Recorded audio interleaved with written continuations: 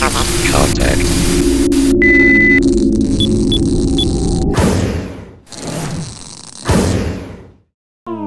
What are we doing today? Um, I'm basically going to show you um, what we what we done tests for the 3D footage and and here's my camera bag. Okay. All right, cool. So we're basically going to be pulling those guys out. Yep, we're gonna have two cameras. Okay, so Those are HD cameras. Yep, that's great. And then we're gonna set it up and then we're gonna start testing. Okay, so what Que is doing is he's setting up these two cameras, and in order to shoot 3D footage, you have to shoot with two cameras.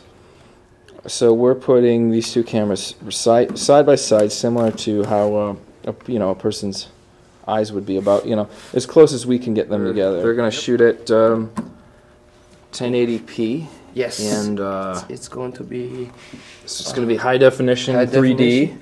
Yep. And the direction is over there. And Over we're gonna have our partner, We're gonna have Raymond, Raymond. our uh, our lab tech intern. Yeah, who's gonna roll in and uh, in the moment. Que and Raymond and I and Juan doing research, we found that uh, 25 feet away is an optimal distance for the kind of 3D that we're doing. Mm-hmm. Now we're we're not doing Avatar 3D. We're doing this sort of old school 80s Yes, um, blue and uh, red glasses 3D. All right. So are we speeding? Yep. You ready, my friend? When I when I say come, you come. Okay. So now Raymond is walking towards the two 3D camera, the two 3D cameras, and he's crouching down. All right, it's good. Yeah. So we had to make our own. right, and then we borrowed this gel hmm from our department, media, Yep. from the department, so they give us some. Oh yeah, the theater department let yeah, us. the Uh, theater department. So very easy. We just cut them out like a piece yep. and just paste it. Yeah, tip man, it up, and then here we go. Took our two cameras and we captured the footage into uh, into our iMac here. We're using Final Cut Pro, and basically what you do is you line up the two clips on the uh, the timeline, and you uh, so you take the bottom clip, and the bottom clip we want to make red um, because that represents, I believe, the uh, left eye of our of our 3D glasses. So what we do is we, we take the clip, we double click on it, we go to modify, and we go to composition style and add. And then from there, we put a filter on it, we put an RGB filter, and we bring down all the levels except for the red, so we leave the red. So basically, this is our red clip. And then we just do the same thing for the blue, clip. We modify, go to add, put the RGB on, and you notice that this is sort of like, I guess it's a little green, but we're uh, we're leaving um, we're leaving mostly the blues left, and so basically from there, you put your 3D glasses on, and you can tweak from here. So like when I put these things on, it actually look like it looks like it's 3D here.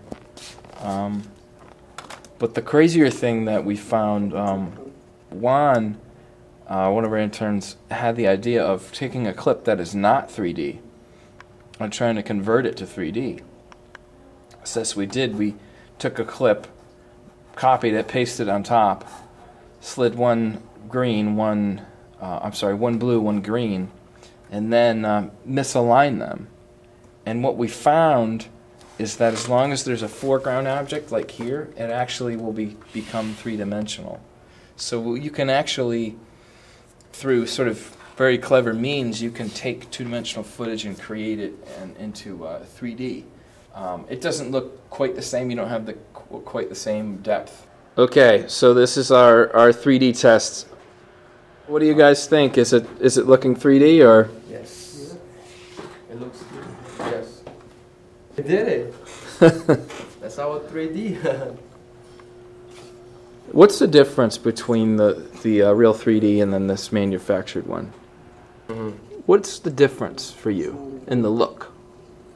And the look, as you can see, uh, is uh, when you see the clip and it's showing the the 2D Yeah, picture image on the front. yeah, it's more like towards to the front when you have this glass on, Uh-huh. and then the the original footage is like deep inside, like you know. okay. You see. Through, So it's really deep, yeah. but there's less. Um, it's less. Uh, it's it's more like two levels, right? Yes, it, it, it does showing the differences between front and back. You know, as you can see, Yeah. it's showing that showing you the 3D uh, effect. Yeah. on the footage. Which do you like better? Um, I will I will go for the other one. That one. That The first one? Yeah, the first one. Which was the real 3D? Yeah, that that one looks more like like realistic. You know. More realistic? Okay. Yes. Cool. Now, uh, for you, Raymond, tell me about the difference between the the th- real 3D clip and then this one. It has a 3D effect, but it's not the. It doesn't really look like real 3D, I guess. Yeah. It's more like a illusion, I guess. The thing closer to you looks more like popping out, but I don't know. It just looks like. Does it look like paper cutouts Kind almost? of, yeah. Yeah. I, I kind of feel like that too. And then the the first 3D effect. How did you like that one?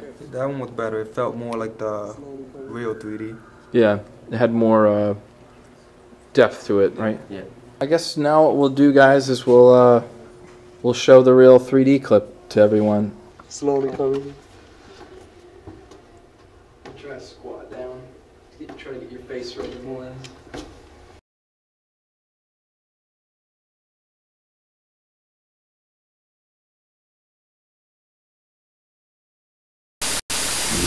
contact.